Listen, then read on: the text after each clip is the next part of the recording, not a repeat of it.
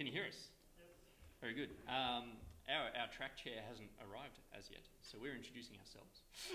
uh, I suppose we should say welcome to DrupalSouth, since there's no sort of official welcoming. It's a little bit weird to be starting with us, but anyway, bear with us.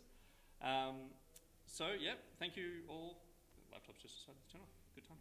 Um, thank you all for choosing to start the conference with our talk, uh, partnering with vendors for agile success. My name's Antoine. I'm an engagement manager at Salsa Digital. Uh, and I'm Elisha Hulme. I'm the Senior Functional Analyst in the ICT Division at the University of Southern Queensland. Alright, let's see if we can get this going. Alright, so let me quickly run through with you what we're talking about today. Uh, firstly, we'll briefly introduce you to Salsa Digital and USQ.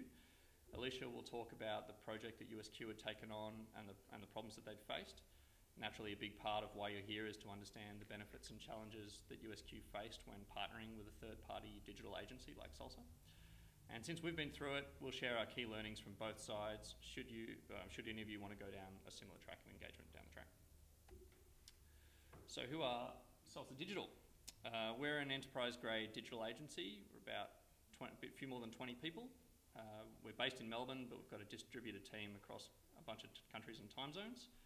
Um, as per the slide, we cover all our traditional digital agency sort of work, um, but naturally we're centred around Drupal as our CMS of choice, hence we're here today and sponsoring. Um, we love our open source, open data, and more recently, open platform, which has enabled us to be the official partner for uh, GovCMS uh, for the Department of Finance across the road. And uh, we've got significant input into the Victorian government's single digital presence as well. Uh, so for both GovCMS and SDP, we've partnered with amazee.io. We've got a stand outside. Um, they're based in Austin, Texas, so we rely quite heavily on our online tools uh, to deliver our work. And a little bit of background about USQ, just to give you some context for today. Uh, we have a student base of approximately 26,500 students, and they're spread across three campuses in southeast Queensland. So I work at the home campus, which is based in Toowoomba, but we're also conquering more of the western corridor outside of Brisbane. So we've got campuses at Ipswich, Ipswich sorry, and Springfield. Uh, we're also really well known for our online offerings, and historically we have been known as more of an online institute. So as you can see, when it comes to online, we've got 69% of our students studying this way, so that's well over half of our student population. Another stat to look at that's of interest is that 37% of our cohort fits within that school leaver demographic. That leaves 63% of our students classified as mature age. And just for reference, I think all of us in this room are classified mature age because that cutoff is at 24. So when I joined USQ, the student portal, which is also called UConnect, was housed on an unsupported, unstable platform. So it was on an end-of-life Oracle product and we needed to get it off there. So we did that in 2016. Uh, we moved over to Drupal uh, on Drupal 7. So from the end user point of view, the portal was really kept as a bit of a light for like. As you can see, it was just a bit of a modern refresh. But what was probably a core thing for us was on the back end, we made a lot of improvements. So while I'm talking to about them today, they're really quite simple uh, when I say it out loud. So for instance, Google Analytics and all of our links seem simple. We didn't have that data before. So now we could see what our students were actually doing on the portal as opposed to what we thought they were doing. Moving to Drupal also meant that we could update content easily without fear of the system crashing, which was always something at the back of our mind. We used to have to do updates to simple things like announcements on weekend maintenance days or 2am in the morning. It really just wasn't practical for us. So this portal was made up of hundreds of links spread across multiple tabs. Some of those links were duplicated across tabs, some of them were even duplicated within the tab. And we expected our students to be able to work through this site and find all the information that they needed. So ultimately, we knew we had to improve the online experience that our students were having.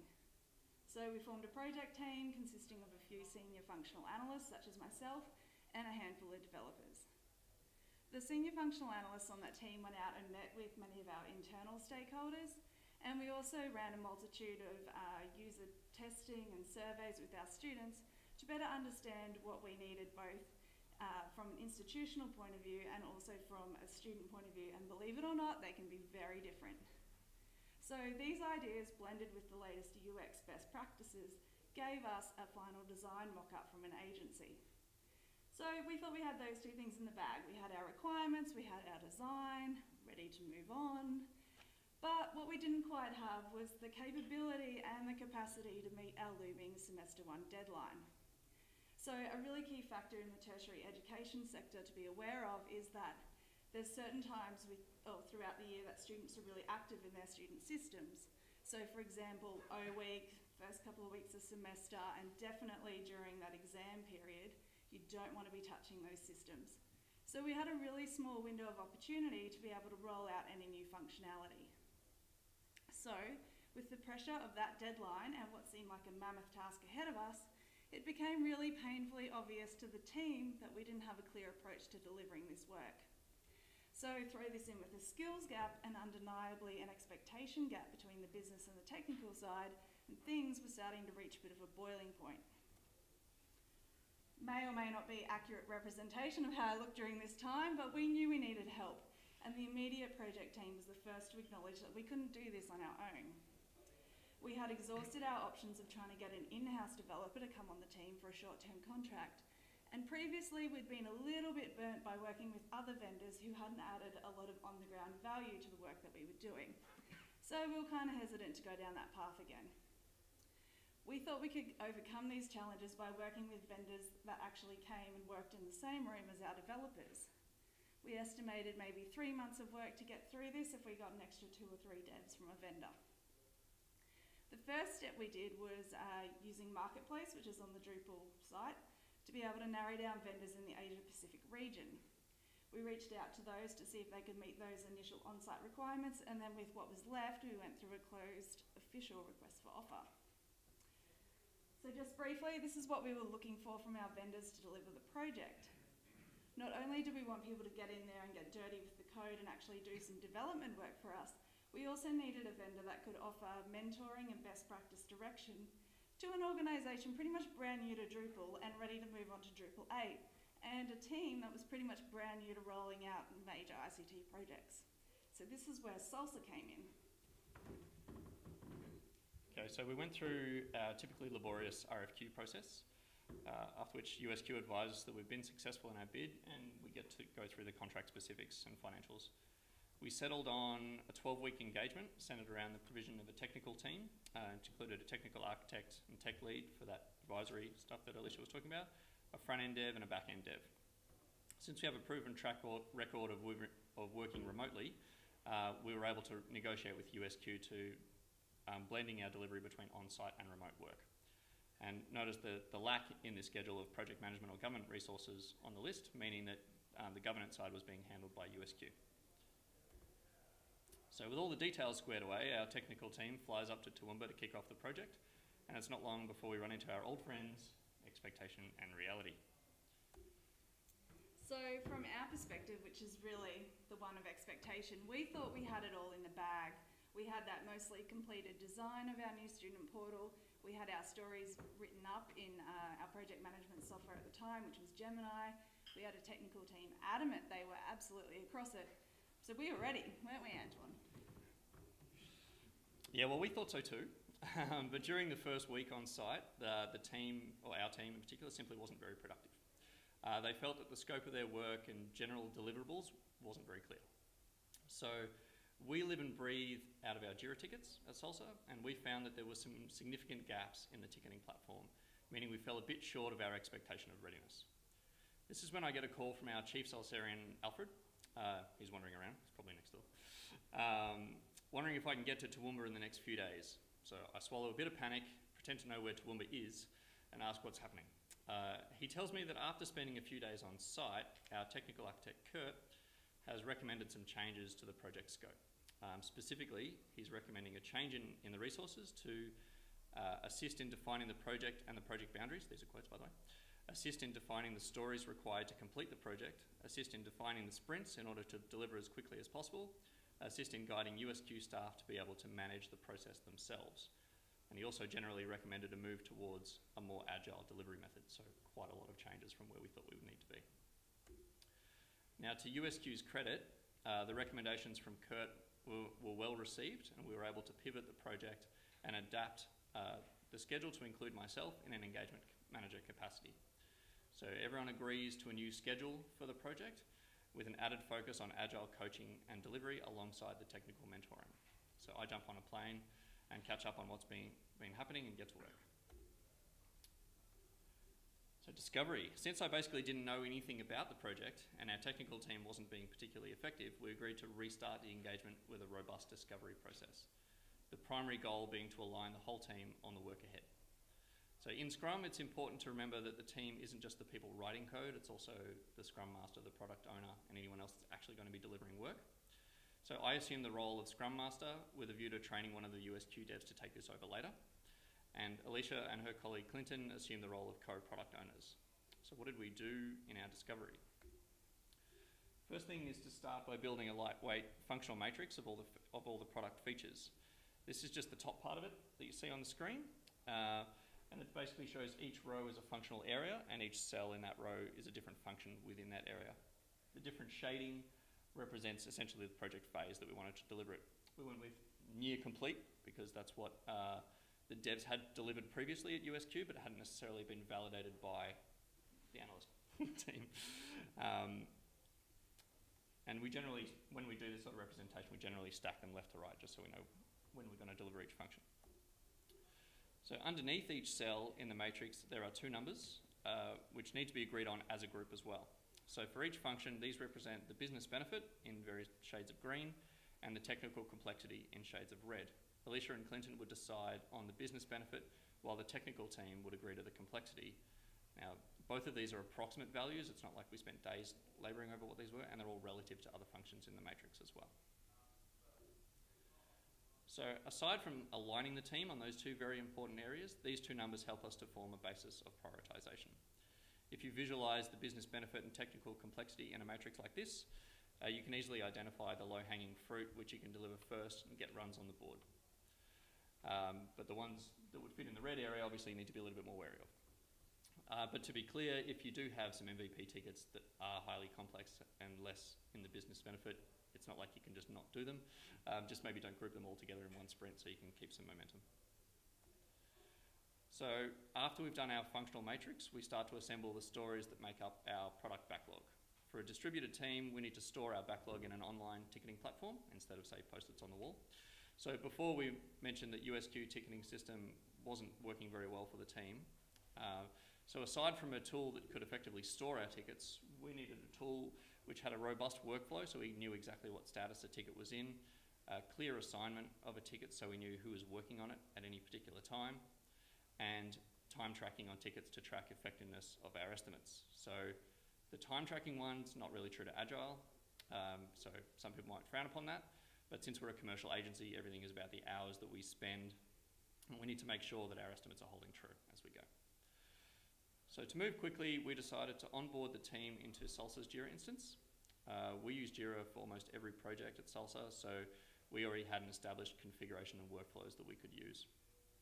Uh, you don't, of course, need to use Jira to run an agile project, but Atlassian have put a fair bit of effort uh, into, into working on, in an agile environment, so it's a good, good starting point.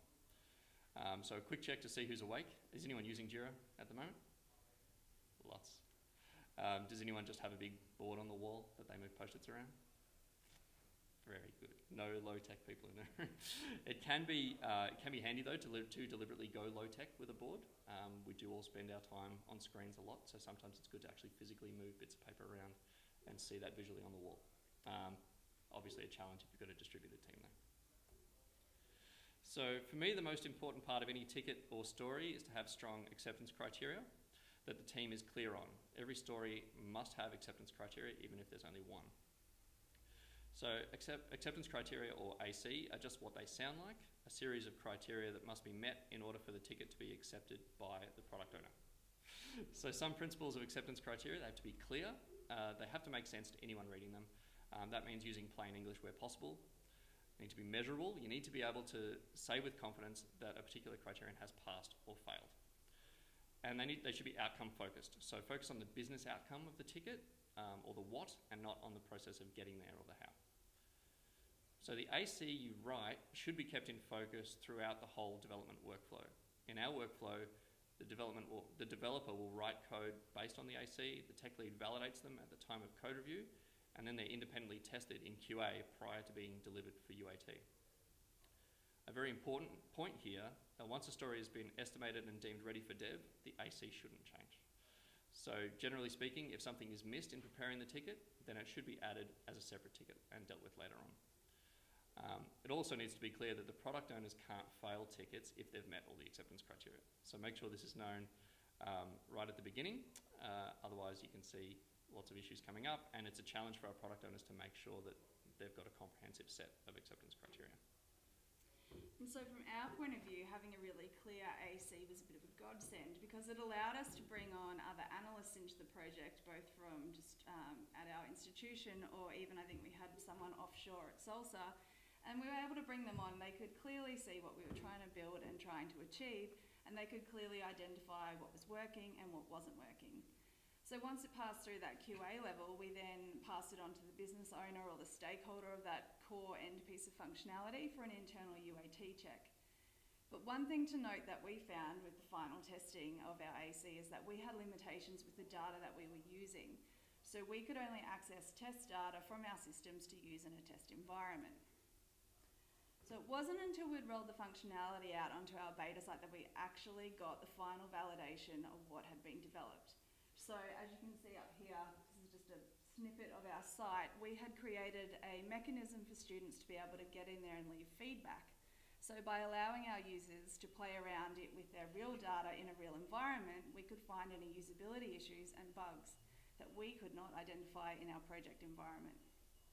So thanks to the feedback from our students, we were able to clearly articulate any bug issues and they even gave us a few ideas for future enhancements. So working in that beta environment allowed us to continue to iterate and improve the site.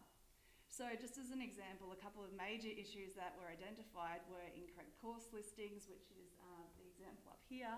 There was also uh, issues with course timetabling. So kind of some big issues for our students. But these bugs were not found at all in our project environment. So uh, they were of course prioritised for immediate development and through the agile process we were able to roll that out in our next release cycle. So the AEC really forms part of the user stories which are individual tickets. Now the user stories are helpful because they remind the developer and sometimes the functionals to actually be looking at issues from the end user point of view. So our users want to be able to do something because it'll make their lives easier. So how do we help them and how do we make this happen for them? So we had written our user stories, um, and this is an, example of a earlier one. So hold your phones because there's something better coming up. Um, we had tried to cram all the details uh, about a piece of functionality into one story, and it was making it really difficult for our developers to work out what actually needed to be done. What we learned uh, by working with Salsa is that these larger pieces of functionality is actually called an epic, so essentially we can break the details down of the features into a number of smaller stories that can be planned over sprints. So for an exam for example, sorry, the original story we wrote about displaying a user's course listing uh, on their study desk block was actually broken down into nine individual stories. So this ranged from the display of the block to the content of the API, things like footer links, it was all in different stories. Now this is the one that you probably want to take a photo of instead.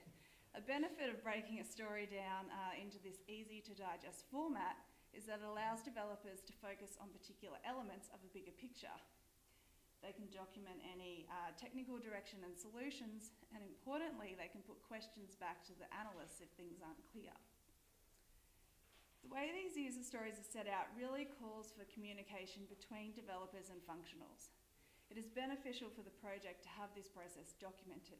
At the end of the day, it helps the final business user understand why certain directions were made or decisions were made. By breaking a story into manageable tasks, sorry, I can there's a lot of content to get through in this 40 minutes. By breaking a story into manageable tasks, it increases the momentum and that feeling of empowerment in the team. The developers feel like they're having a win, and then they're therefore more productive in working towards that bigger picture.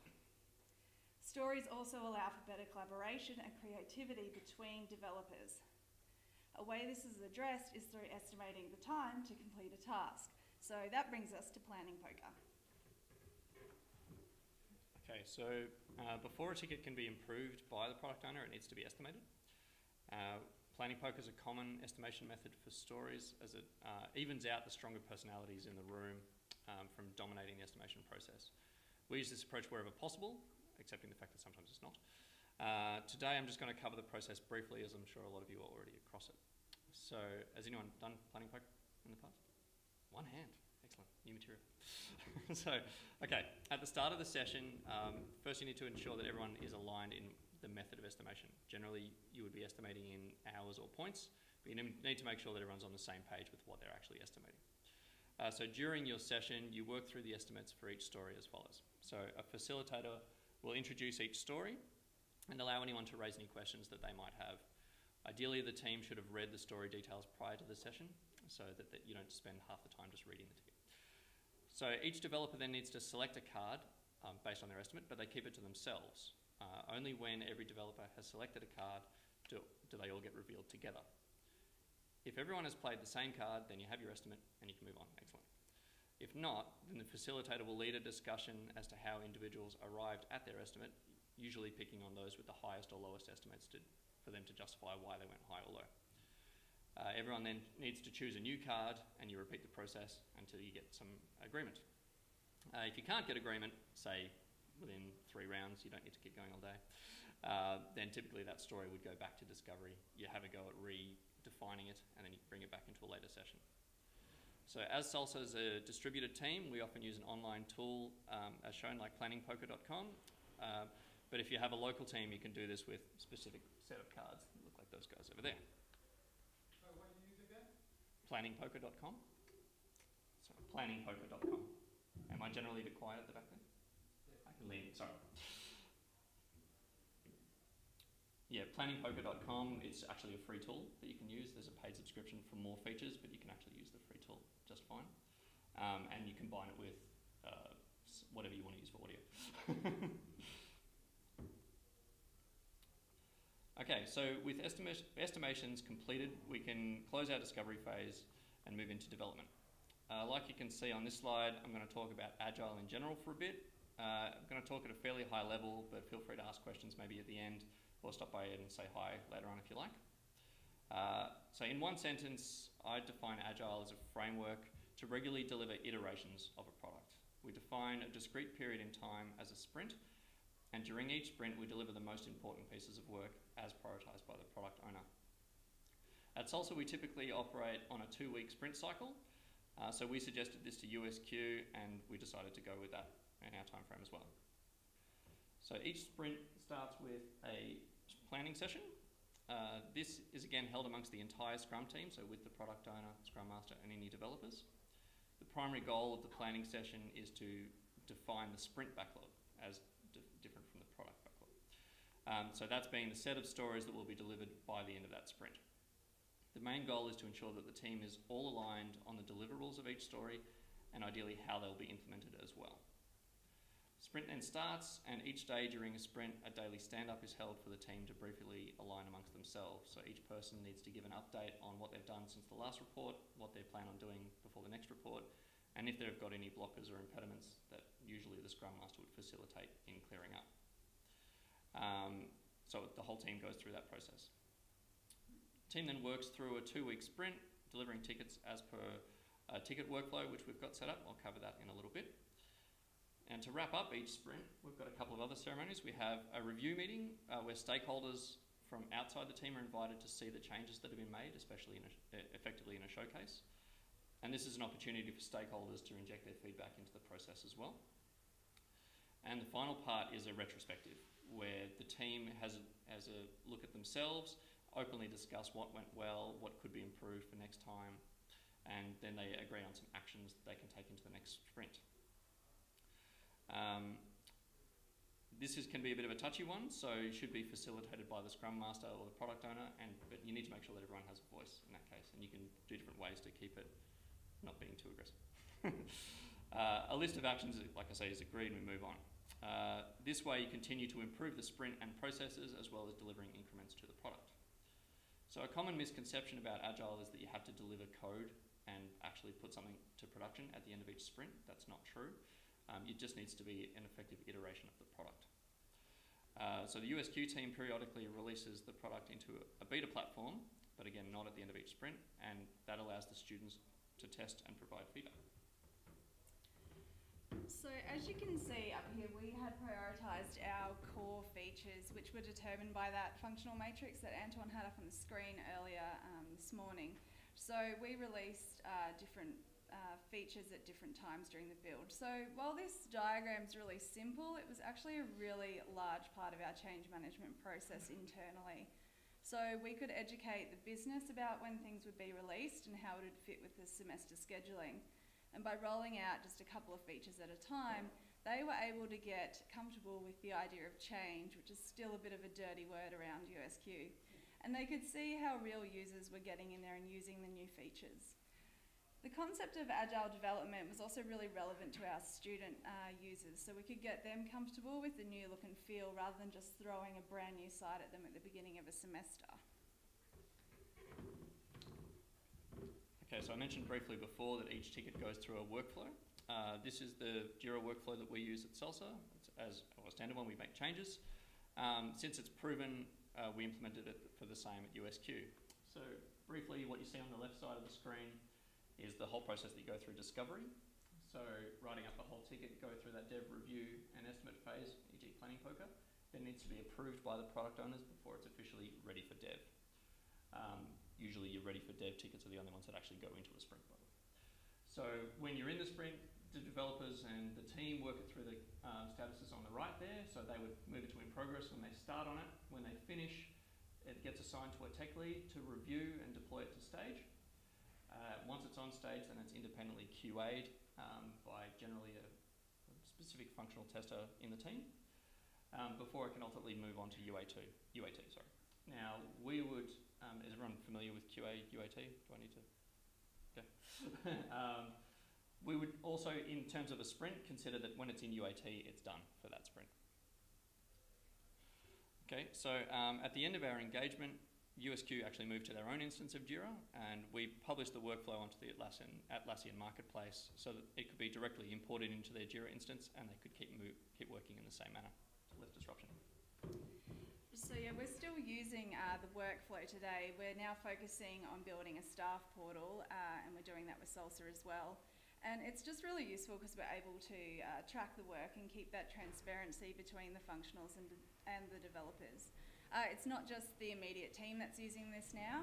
I've been approached by a number of project managers across USQ who want to better understand how they have a more um, have a more open system of communication between analysts and developers, and so this workflow is being adopted in some form across the university.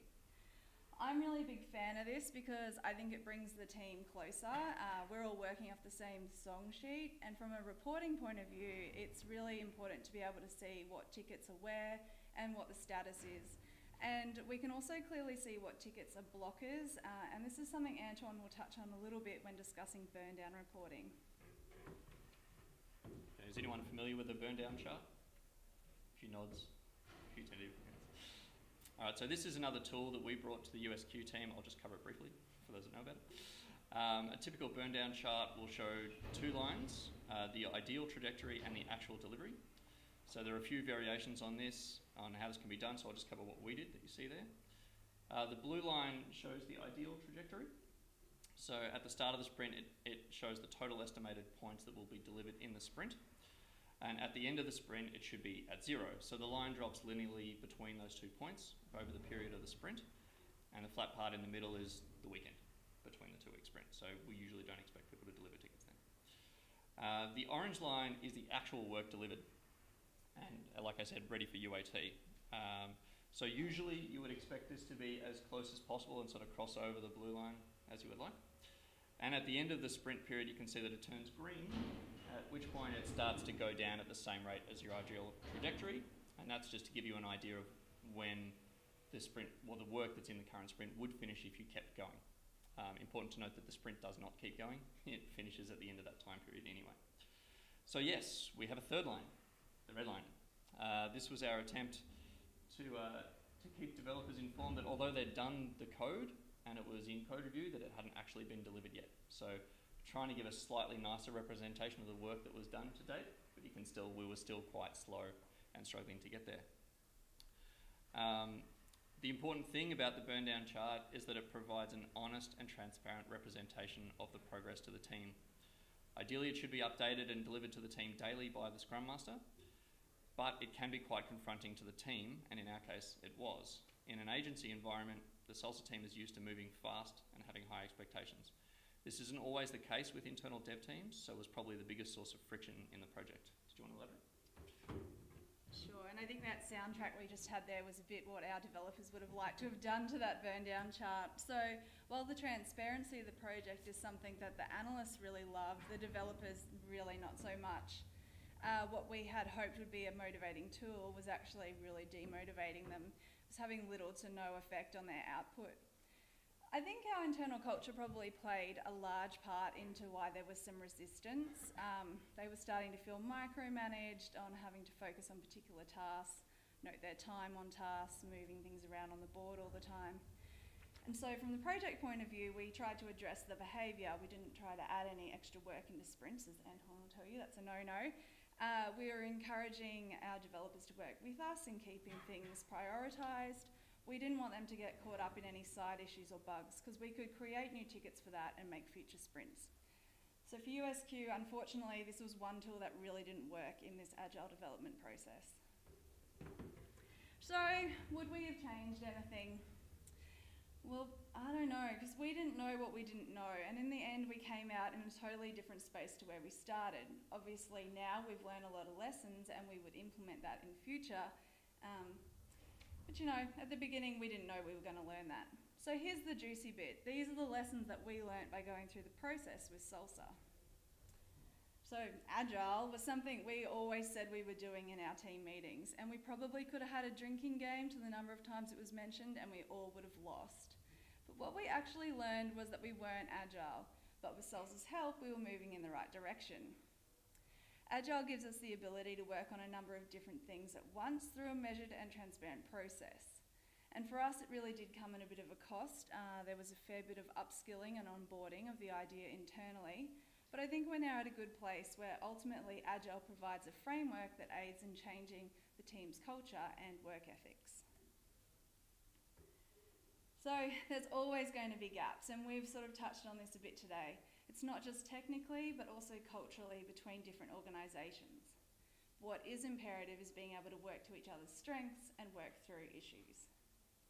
So, having retrospectives provided a safe environment for both of our parties to tell each other what was working and then vent a little about what was not working within the team. We could then try and make a conscious effort to resolve these issues in future sprints. We were also really grateful because we had direct access to the director at Salsa, and this meant that we could get our project manager on top of any bigger issues that needed to be resolved above the immediate team level, and we could all move on with the project work and not get caught up in any side issues. So for USQ, probably one of the core learnings, um, both for the team and just internally as a whole, was that remote assistance is not something to be afraid of. We originally thought we needed to have the consultants to be physically in the room with our developers. one of the great learnings that we uh, got from working with Salsa is that we don't actually need this. We now have those right tools in place, and it's pretty much like we're all in the same room anyway. So we've touched on a few of these today, but I'll just quickly run through some of them in case any of you want to use them in any of your projects. I know we've already had one call out about project, uh, sorry, about planning poker. So uh, Slack is a team messaging program. That's where we can link all of our um, team together. I'm sure a lot of you probably already use that, but they can just give quick updates on um, tickets and ask any questions throughout the day. Teams is a very similar uh, program, so we've rolled that out internally and we brought Salsa on board in our second round of engagement with them. Um, I find this really useful because we can upload any documentation directly into the chat um, functionality, and so Salsa can go view any relevant documentation without needing to access any of our internal files and without losing any documents in their emails. Jira, we've already spoken about a bit today, so we won't go into detail there. Zoom, that's an online uh, video conferencing platform. We use this daily for our stand-ups and poker planning and retrospectives. Ideas boards, this is another free tool. Um, this was great for retrospectives. Uh, you can share the board Participants can write anonymously on there so they can really get out there venting, but we do make them own up to it later. Um, and it also allows them to acknowledge anything good that the team's done.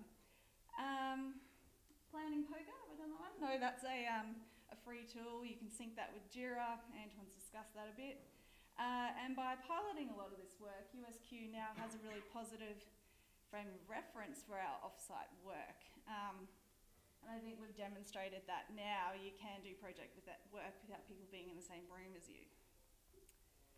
And I think, um, Antoine, did you learn much out of this experience working with us? Yep, sure. So um, obviously we're a digital agency, so we try and take things away from every project we, we take on, um, so that we can then pass those learnings on to the rest of the team, continue to grow, etc., etc. Marketing spiel, sorry. Um, the main thing I took away from our initial USQ engagement was that not all development teams are the same. In particular, you can't expect the same work for, from individuals in a digital agency as compared to internal teams. It's not to say that anyone does it wrong or better, but it's a completely different environment that makes for different priorities and processes. So you always need to be conscious of people's individual personalities. Agile is a different mindset in itself that people need to get used to. It's about meeting your commitments without distraction. Some team members like to be helpful where they can, including to those outside the sprint team. In Agile, this can be actually very disruptive as it distracts the team from, from the goals that were agreed on at, the, at part of the sprint planning so they don't get to what they said they would do. Um, and that was probably the main thing for us, really, in this case. Uh, the next big thing was to ensure that when your team dynamic changes, or specifically when you onboard a big portion of your team, uh, be sure to execute a robust discovery phase. This doesn't need to cover everything that we've talked about today, but you do need to make sure that your whole team is aligned on the scope of work um, and their expectations on what they need to do before they get into it. Another is to make sure that everyone sees the value in the acceptance criteria. So acceptance criteria for the win. Um, when you put your acceptance criteria together, it needs to be agreed that that is what you are delivering to. In our case, we had uh, the, the, build, the system was already partially built. We had designs for the platform as well, and we had acceptance criteria, and all of them were different. so everyone needs to agree and understand that the acceptance criteria are what rule, and when the ticket gets validated, that's what you validate against, even if it looks different to the picture. Um, and it's also a, a hint to make sure that when you write your acceptance criteria, if it does differ from the design, call out the fact that it is different from the design in your AC. Uh, and finally, like any agile project, continue to iterate, not just in, in, in, the product delivery, but also in team processes to make sure that everyone is being as effective and possible as possible and you continue to grow. So here's a bit of a preview of what the student portal looks like uh, now. So it was released on time and to mostly positive feedback from our students. So it's now transitioned into a BAU uh, process, which is in a different area of USQ. Project I'm working on now is still working on improving the staff portal after seeing the successful rollout of this one. Uh, and we're partnering with Salsa, as I mentioned, to deliver that. But at the end of the day, we had to adjust our expectations, and my role as an analyst is to partly manage expectations, so probably should have expected that.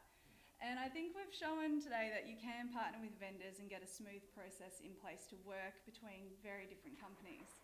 Uh, the project methodology that we're being mentored, we have been mentored in is still being used today.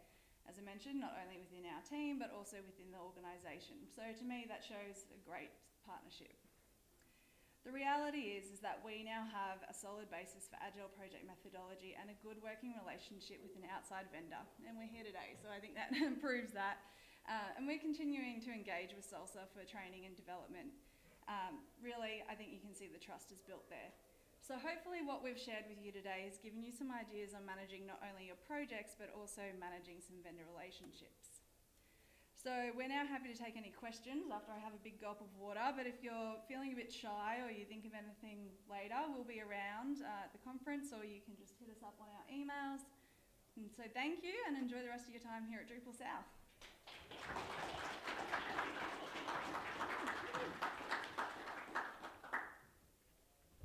Anyone feeling brave and have a question?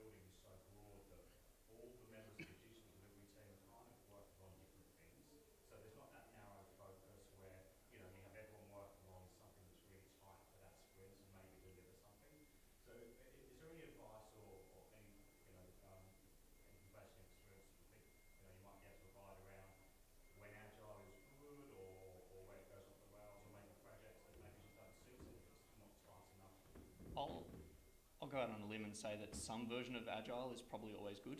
Um, when you compare it to a waterfall method where you've got to scope everything up front, deliver everything up front, or like deliver it all at the end of the day, and then if something's wrong, you're basically screwed. if you pair it back to a, of, a, of a concept of delivering iterations, even if you're not following any true method of Scrum or of Agile in itself, um, if you just deliver in iterations and make sure that you're validating as you go, that will always help. Um, so, and another takeaway I think is not there's an agile purist sort of point of view. Um, have that whole vision under your head as a client, um, and we try and get the, the clients to really focus on the prioritization in some senses. So you don't you don't have to be strict. Is my point there. um, definitely don't be. In fact, use what works for your team. Uh, when it comes to big complex projects and the very detailed product backlogs, you could look to having different teams to do different parts of the project, and therefore you have different product owners. The the challenge really in Scrum is on that product owner, I find, because not only do they have they're, they're on the hook to define all the stories and the scope and all that, but they also have to prioritize. And every time something gets added, you need to make sure that it fits into the into the list properly. And if you don't do that regularly, which is an easy easy trap to fall into, then you start to lose focus on what's important and what's not. Um, so Elisha mentioned that uh, one of the big changes for them was to be finite in your deliverables. So do try and keep detailed tickets as to what you need to do. What, uh, one big takeaway is if that ticket should fail at any point in that life cycle, you only need to validate a small bit. You don't need to go back and rebuild a whole huge thing again and then validate it all. So you just know really more specifically what you need to fix going forward. Um, but so maybe if I haven't answered your question, probably more specifically is look at sharing that product ownership like they did at USQ to have two in, in different areas so they can prioritize them. Um, if it is one Scrum team though, you do need to have one backlog at the end of the day. Um, so either have completely separate teams or, um, yeah, it can be an argument. Does that answer your question in some way? Yeah.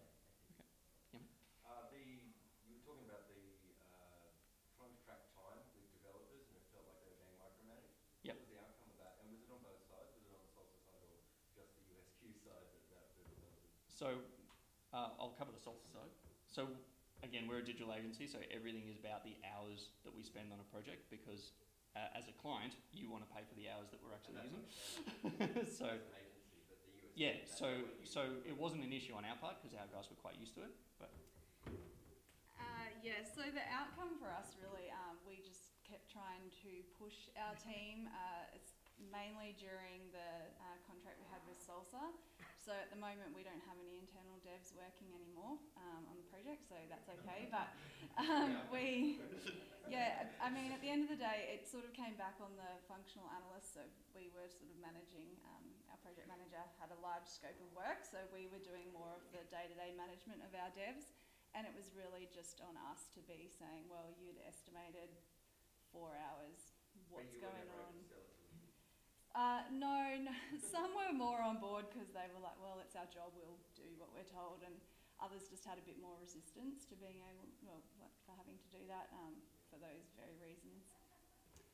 There, there are some, um, in a more purist agile form, you wouldn't go time estimates and you wouldn't ask for track time anyway. I know getting time out of developers is always a challenge, um, but what you can boil it down to is in your sprint planning session. So, sorry, your estimations that you do in planning poker are not supposed to be minute by minute accurate. That's just allows you to schedule your product backlog to give you some forward projection of when things will happen. In the sprint planning session, you can go to a more detailed, like how long is it going to take to do this ticket? And the main reason for that is to know what's going to be in scope for your sprint. And you can tell them at that point, it's just so we know what's in scope and what's going to fit, and then we trash the estimates. And what that affects and how you move forward from that is you don't need to track hour by hour on what they use, but you look at the end of the sprint, did we complete the number of points that we said we would, and therefore affect our velocity? And if, it's, if, you, if you don't get there, then it's obviously a topic in your retrospective. Just go, what went wrong? And if someone says, oh, well, this ticket we spent a lot more time on, then they, they're aware of that. So you don't strictly need to have the time logged to have that conversation. Yeah? How are we going for time? Wrapping up. All right, thanks very much, everyone. Like I say, we'll be around. Um, Salsa's got a booth just out here if you want to talk to me. otherwise, thanks very much for coming.